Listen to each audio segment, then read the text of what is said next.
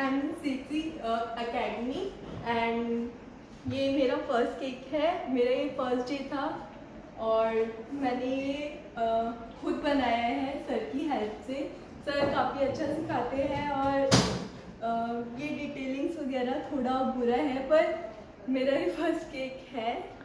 But यहाँ का atmosphere बहुत अच्छा है। सर बहुत पोलाइट है काइंड uh, है और बहुत मज़ा आया मैं यहाँ पे रहूँगी।